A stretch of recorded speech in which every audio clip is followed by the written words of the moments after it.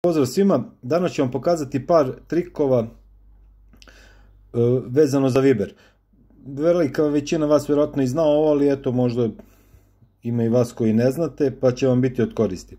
Prvo je kako da sakrijete da ste bili na mreži i da sakrijete status da li, je, da li ste pročitali ili niste poruku. Uđete u podešavanja, onda idete na privatnost i evo vidite ovdje, meni je štiklirano da sam na mreži, onda štiklirano mi je da je poruka pregledana i evo vidite imate čak i opciju ovaj kako se zove da označite da korisnici koji nisu među vašim kontaktima da, da vide ovaj vašu profilnu sliku na, na Viberu. Sljedeća stvar je kako da rasteretite memoriju vašeg telefona.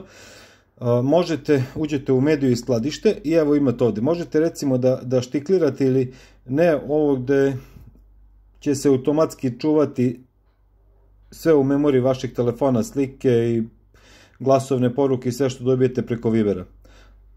Veoma je korisna stvar, znači samo sklonite ovo i više neće biti ništa čuvano, čuvat će se na Viberu, eventualno samo ono što vi budete želeli, imat ćete opciju da sačuvate u memoriji vašeg telefona. I posljednja stvar za ovaj video koji možda niste znali vezano za Viber je da Viber možete da instalirate na vašem računaru i da se dopisujete sa drugim korisnicima Vibera preko svog računara. Jednostavno je uđite, ukucajte na Google protiživač ili gdje god Viber, skinite, instalirajte i to je to. Toliko od mene ovaj put, ako vam se dopao video ostavite like, zapratite me, čujemo se i vidimo uskoro.